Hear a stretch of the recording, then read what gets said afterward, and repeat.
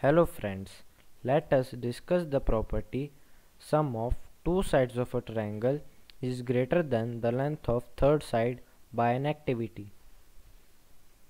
Draw a triangle ABC where AB is 4 cm, BC is 5 cm and AC is 11 cm. Will you be able to draw a triangle from these lengths? We will take 3 straws for this activity. Cut these straws according to given lengths.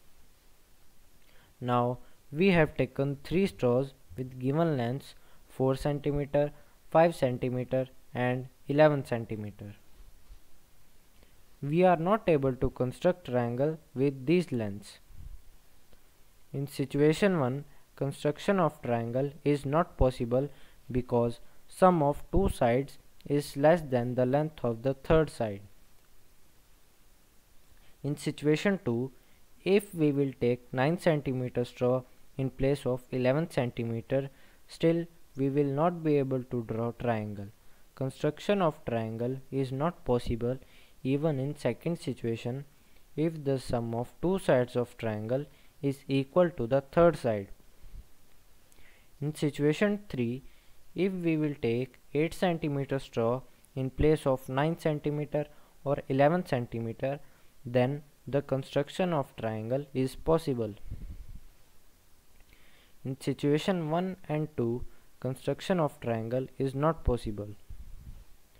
But in situation 3, construction of triangle is possible because the sum of measures of any two sides of this triangle is greater than the length of the third side that is AB plus BC is greater than AC.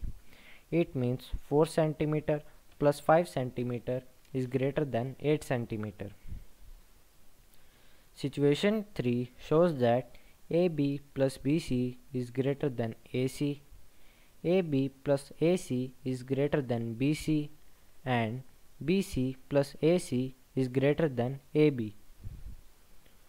So we can say that construction of triangle is not possible if the sum of the lengths of any two sides of a triangle is less than or equal to third side. Construction of the triangle is possible only if the sum of the lengths of any two sides of a triangle is greater than the length of the third side.